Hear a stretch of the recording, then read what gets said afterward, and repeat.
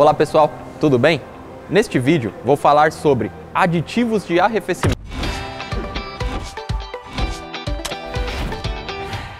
Vocês sabem para que serve o aditivo de arrefecimento? Somente para colorir a água e facilitar a visualização do nível? Não, o aditivo de arrefecimento tem importantíssimas funções para a proteção do motor e do sistema de arrefecimento. Atualmente, os motores possuem potências elevadas e trabalham em condições severas de carga, o que ocasiona o aumento da temperatura de trabalho, podendo ocorrer a ebulição da água, formação de vapores e bolhas no sistema. Isso pode ocasionar problemas diversos, como queima da junta de cabeçote, cavitação do bloco, cabeçote, camisas, cilindros, deformações nos componentes do motor e até o travamento de partes móveis, devido à dilatação térmica e diminuição das folgas de trabalho.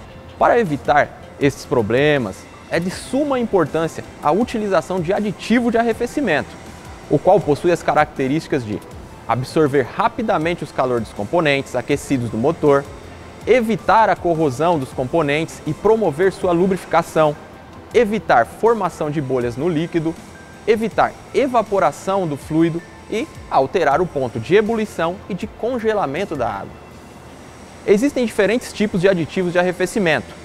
Os fluidos concentrados, que requerem diluição com água, os fluidos prontos para uso, que dispensam a diluição com água.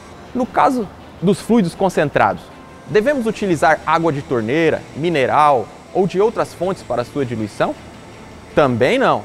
A água de torneira ou mineral pode conter sais minerais, como cloro, flúor e cálcio, que acumulam em certas regiões do motor, acelerando o processo de oxidação e desgaste das partes metálicas e das mangueiras. Sendo assim, a diluição deve ser realizada com água desmineralizada para evitar reações com o aditivo e a formação de minerais no sistema de arrefecimento.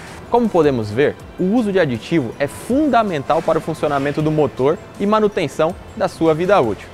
Lembre-se sempre de utilizar aditivos de acordo com as especificações do fabricante do motor e respeitando as especificações de aplicação contidas no rótulo do produto.